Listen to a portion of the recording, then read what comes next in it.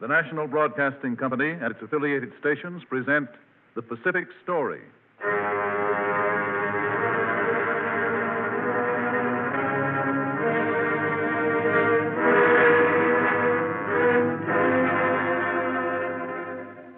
This is the story of the Pacific, the drama of the millions of people who live around this greatest sea, where the United States is now committed to a long term policy of keeping the peace. This, as another public service of the National Broadcasting Company, is the background story of the events in the Pacific and their meaning to us and to the generations to come.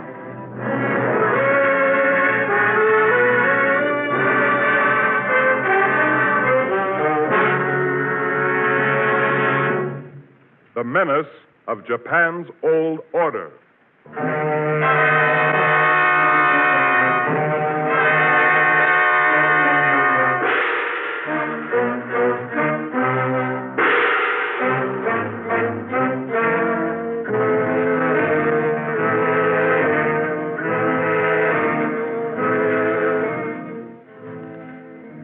Much is sure. You'll never eliminate the danger of Japan until you eliminate Japan's old order. Japan's old order is the men and the institutions that promoted the war in the Pacific. It is the men who have been running Japan and the way they have been running it. It's the Zaibatsu, the clique of powerful families that have run Japan's industry and commerce for generations. It's the men who shape the government's policies and control the military for the last quarter century. It's the Shinto code. It's the emperor and all he stands for.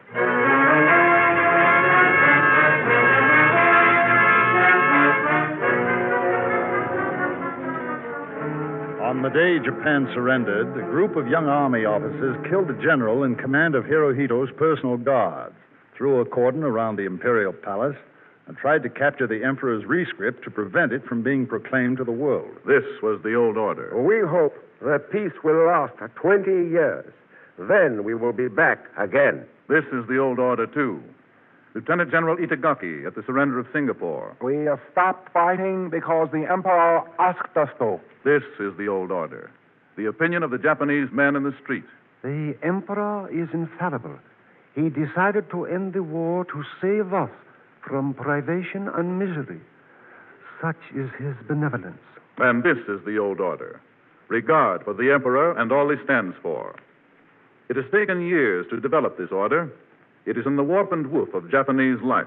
We have bowed to the enemy's material and scientific power, but in spiritual power we have not lost. Let us unite and work to bring our nation up as a strong and admirable nation. We have not lost. This is only temporary. This is an expression of the thinking, the point of view, spawned over the course of years by the old order, by the industrial and commercial families, the Mitsubishis, the Mitsuis, the Sumitomos, the Yasudas, and the others, by the Shinto Code, and by militarists and bureaucrats, men like Sadao Araki. The Japanese army is the army of His Imperial Majesty. It is led by the Emperor himself. Sadao Araki inspired the young Japanese to fight to dominate the world. You are the messengers of world peace. His oratory molded them into crusaders for the emperor. If your obedience is achieved simply through the threat of army discipline, the power of the army on the battlefield will never be fully developed. You officers and you men must mutually believe that you are the soldiers of the Son of Heaven. You must believe that the orders issued to you are in reality the expression of the imperial order of the Emperor. I talked with Araki.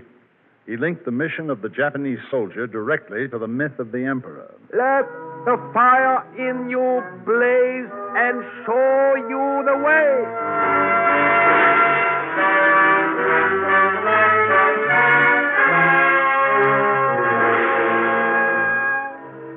Araki had profound influence in the old order, and so also did Kenji Doihara. Doihara was called the Lawrence of Asia. Let this observer who knows Asia tell you about him. Doihara speaks Chinese as well as he speaks Japanese. He's a smooth, back of the scenes operator. His forte is making friends whom he can use to the advantage of Japan. But friendship with Doihara has meant death to those he duped, not by Doihara, but by those betrayed. The Chinese knew him well. I saw him once in Mongolia, disguised as a monk. And I saw him in Manchuria, disguised as a peddler. Many people claim to have seen him in many parts of Asia. He worms his way into the confidence of everyone officials, soldiers, anyone he can use. He always had plenty of money at his disposal, and he used it freely. In the years before 1931, Doihara took the trouble to learn firsthand all about China and the Chinese. He traveled extensively behind the scenes. In 1931, when he was a colonel, he was chief of the Special Service Division. Special service. He was the one who engineered the Mukden incident.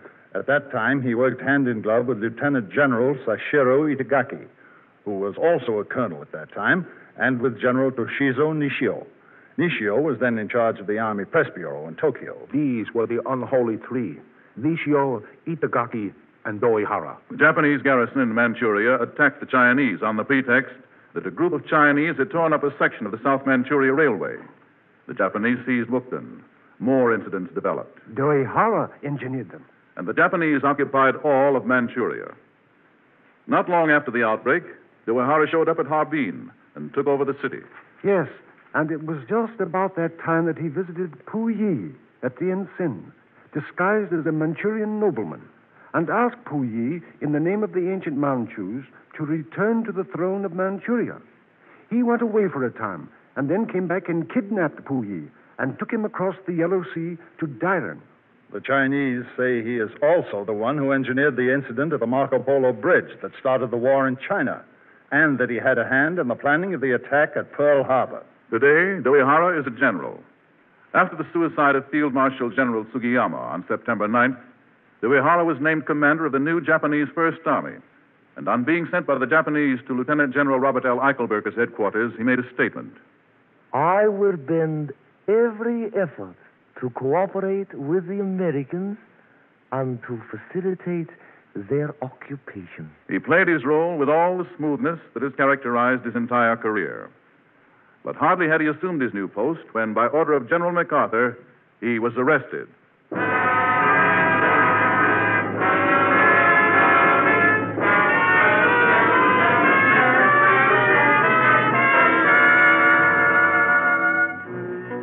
General Nishio is another name to remember. I talked with Nishio. That is, as much as anybody could talk with him. He was silent most of the time, taciturn. Doihara was amiable, easy to get along with, in conversation. But not Nishio. You never knew what he thought about anything.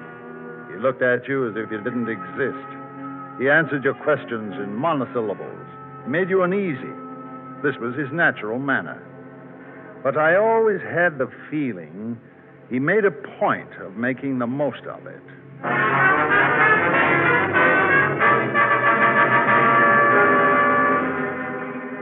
Nishio asked to be sent to Manchuria.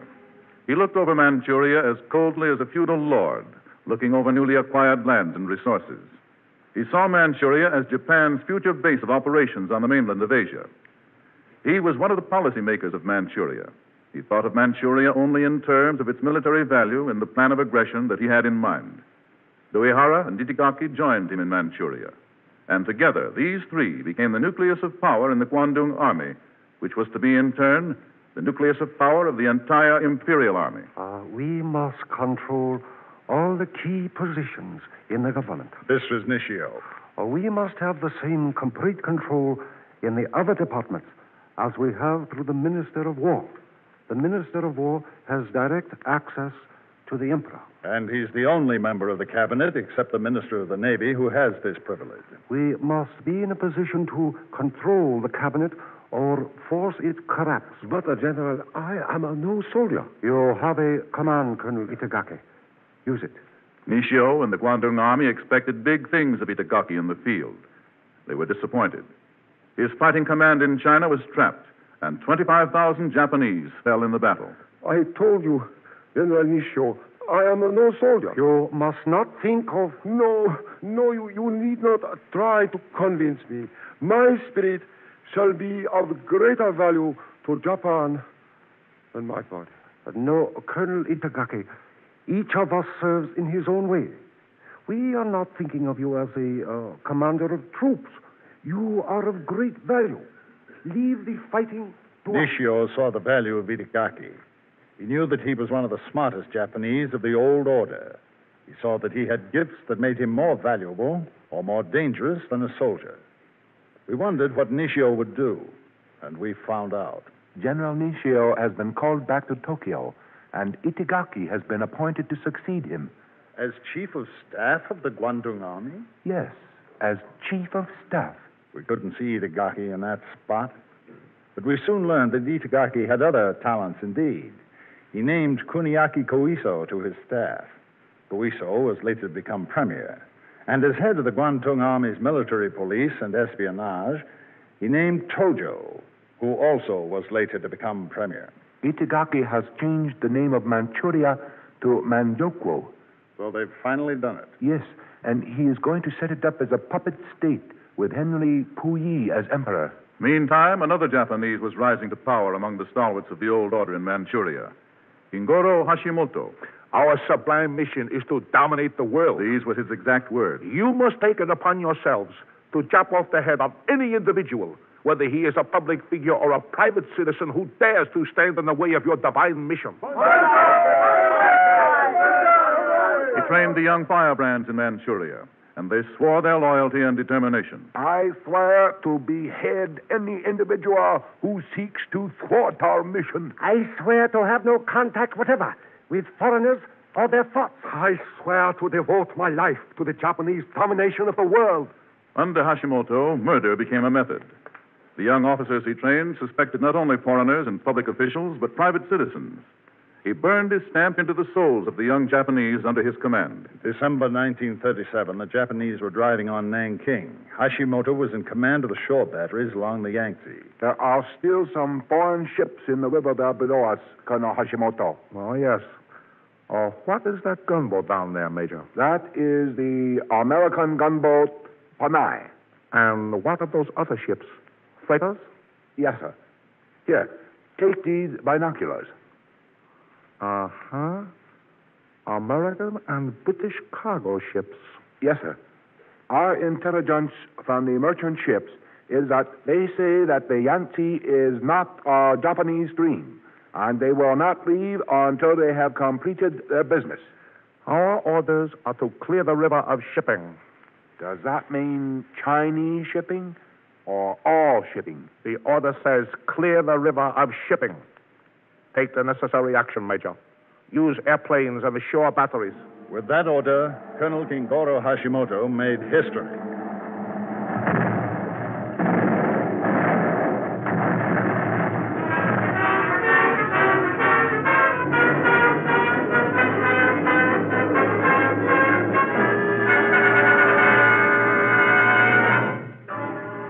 The sinking of the Panay brought Japan to the brink of war with the United States.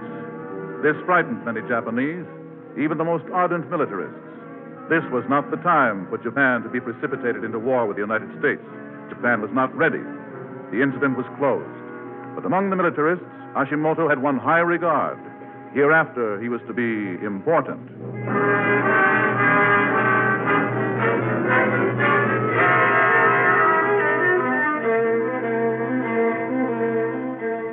Meantime, Itagaki's work in Manchuria had been outstanding. He was called back to Tokyo to become Minister of War, and he called back Tojo, made him Vice Minister of War, and requested him to carry on in Japan the same sort of policing and espionage that he had directed so well in Manchuria. And one day, Tojo's espionage dragnet came up with a bigger catch than he had ever bargained for. They plotted to murder Admiral Yonai. Admiral Yonai? The premier? Yes. They were all ready to strike when we took them. They are now in jail. All of them? All except the leader. Who is he? Hashimoto. Hashimoto? Admiral Yonai, the premier, learned that Hashimoto, whom he knew well, was the arch conspirator. Yonai was uneasy for days, but Hashimoto walked around scot free. Well, nine days later, the resignation of Yonai was announced. We all kept close watch to see what would be done about Hashimoto. It wasn't long before Prince Konoye issued a statement. Uh, therefore, by direction, Kingoro Hashimoto is named head of the committee to draft the new political and economic structure of Greater Japan. The direction of the committee will be in the hands of Hashimoto, and he will, of course. This was the old order. Konoye was premier, but the power behind the throne was the army clique. Nishio and Itagaki still pulled the strings. By 1941, they had worked together for 10 years, and when Konoye's government fell, they made their influence tell. Uh, we must see that a premier is appointed whom we can trust, uh, without question of doubt. It must uh, be a man uh, strong enough to control the cabinet. Whom uh, uh, do you have in mind? It can only be Hideki Tojo. Tojo became premier. By special act of the emperor, he retained his post as army chief of staff. It was Tojo who took Japan into the war against the United States, the crowning achievement of the old order. The old order had won control of the government, had won the approval of the emperor to have a premier who was also chief of staff, and was able to announce, as Tojo did to the Japanese Empire on the day of Pearl Harbor, that The Emperor has declared war on the United States and Greater Britain. Tojo had come up through the ranks of the old order as the other war makers had. He indoctrinated the army with his hates. He gave his soldiers something to shoot at. Japan is determined to destroy the United States and Britain. Tojo did his utmost for nearly three years. But even when his cabinet fell, another disciple of the old order, the man Tojo had made a member of his staff back in the days of the Manchurian adventure, Kuniaki Koiso, was named to succeed him as premier. The old order was still in power. Kuniaki Koiso was no different from the others. He had been chief secretary to the Supreme War Council, vice minister of war, and governor of Korea. He surrounded himself with a set of the same militarists and bureaucrats that had come up to power with him. General Sugiyama, one of Japan's arch militarists, had been identified with every Japanese aggression from the Mukden incident to Pearl Harbor, became war minister in Koiso's cabinet. And this same General Sugiyama was to be one of the first to kill himself after the surrender of Japan. The Tojo government had made way for the Koiso government, but Japan was still in the hands of the same clique. And Koiso made no bones about it. We will further strengthen our ties with Germany, and we will befriend the neutral countries in order that they may offer positive cooperation with Japan. But the old order is not only these men Koiso, Tojo, Itagaki, Nishio, Hashimoto, Uehara, Araki, and men like that. But it is also career soldiers like Tomoyuki Yamashita and career diplomats like Mamoru Shigemitsu. It is these men and all the men like them and the institutions they have used that is the menace of the old order.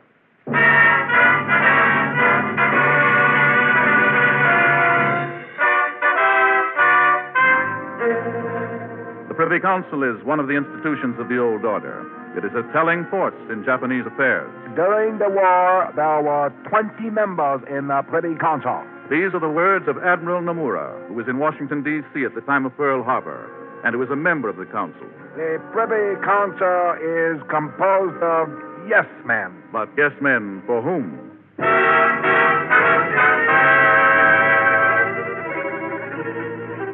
Well, the Privy Council is composed of important generals, admirals, important politicians, and a few civilian experts in various fields. I asked the Japanese how the members were selected. They are chosen by the premier. Well, that means the premier can uh, pretty well choose the men he wants. Hmm? He must consult the court advisors, of course, and the cabinet and the Privy Council itself, Then the men in power have control over the Privy Council. In the sense that they can control its membership, yes.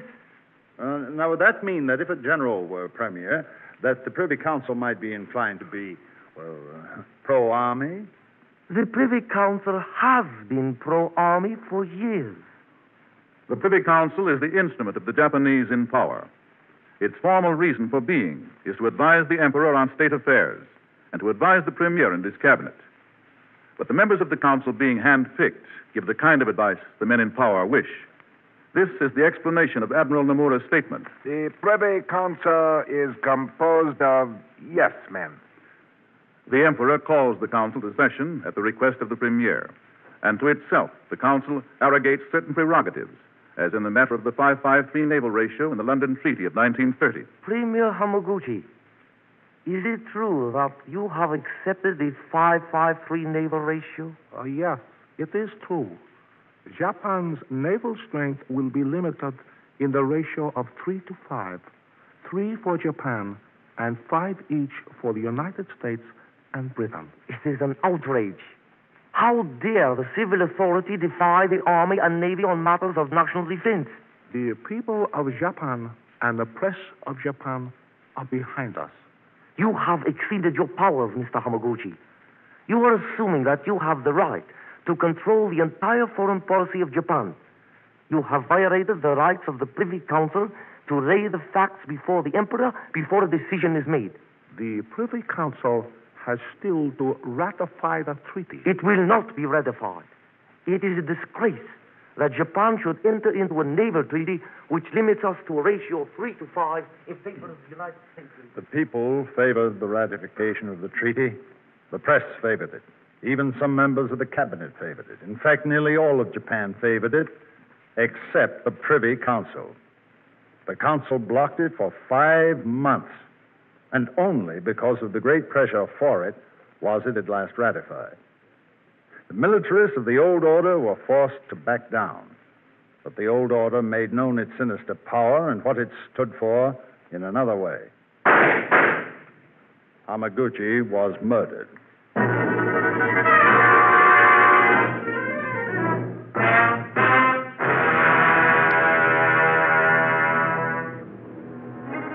The Privy Council, in the words of the Japanese, is the highest body for imperial consultation on important political affairs. As such, the war could only be plotted with the consent and the help of the Privy Council. For the Privy Council is above and beyond the common people. It is indeed the instrument of the men in power. During the war, the Council met every week. How often it met in the years immediately before the war, while the war was being plotted, is not known. But unless it aided and abetted the plot, there could have been no war.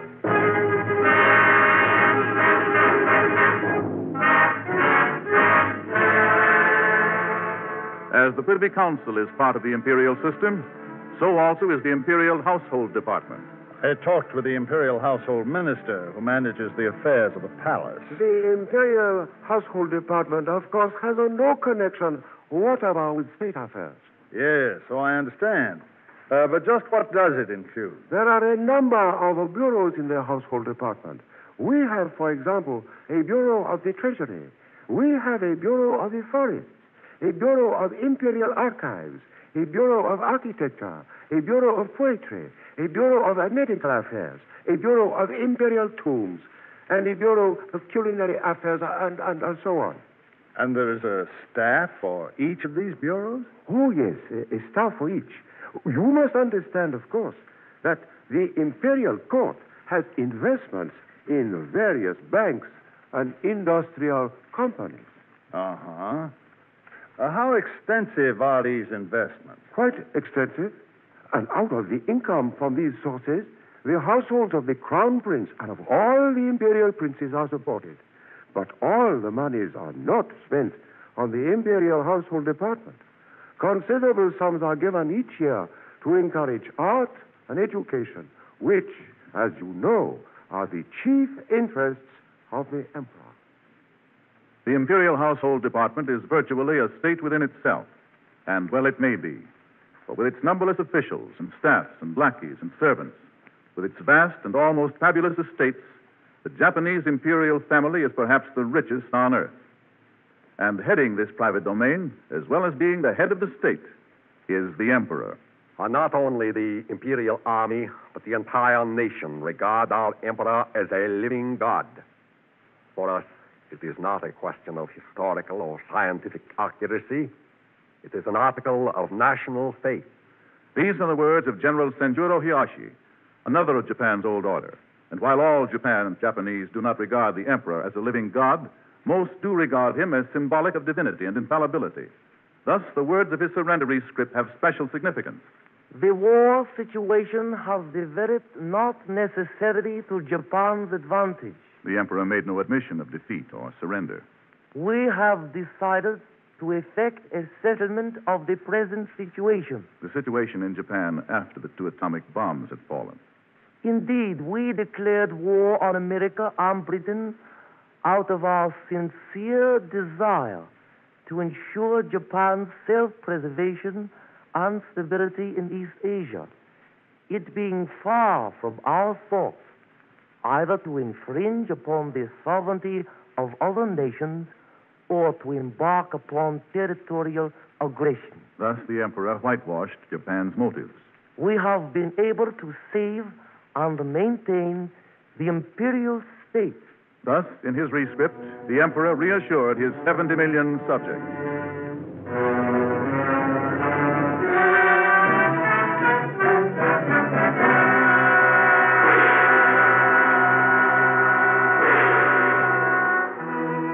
As the full weight of the occupation becomes felt, the power of the old order diminishes. Some of the leaders of the old order have taken their lives. Others will be tried as war criminals. But the old order is more than the men who made the war. It is also the institutions which have formulated their thinking.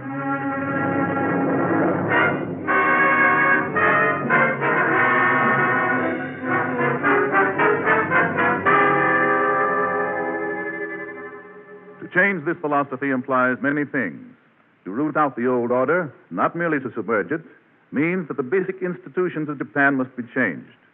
The old order in Japan cannot at once be extirpated any more than democracy could at once be extirpated. As for the men of the old order, even those who are not regarded as war criminals, their fundamental thinking cannot be changed. The same is true of most of the people who are led by these leaders of the old order. The start must be made with the younger elements.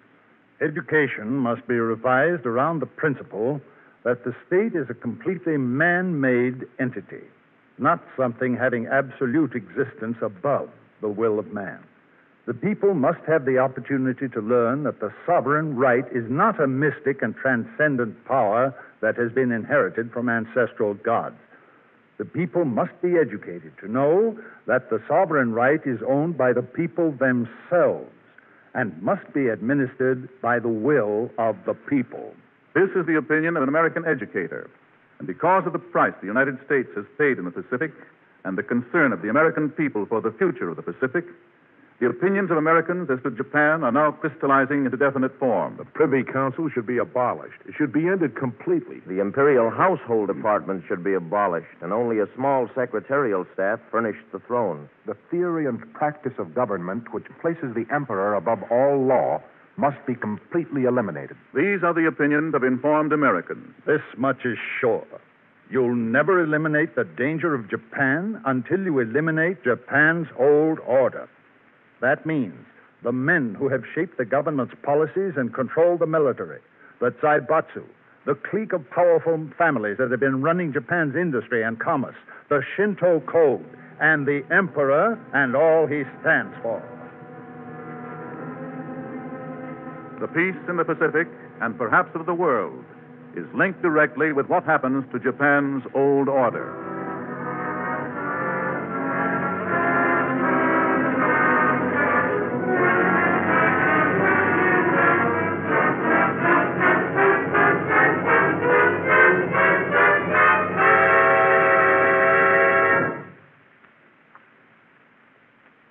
Have been listening to The Pacific Story, presented by the National Broadcasting Company and its affiliated independent stations as a public service to clarify events in the Pacific and to make understandable the cross currents of life in the Pacific Basin. For a reprint of this Pacific Story program, send 10 cents in stamps or coin to University of California Press, Berkeley, California. May I repeat? For a reprint of this Pacific Story program, send 10 cents in stamps or coin to University of California Press, Berkeley, California.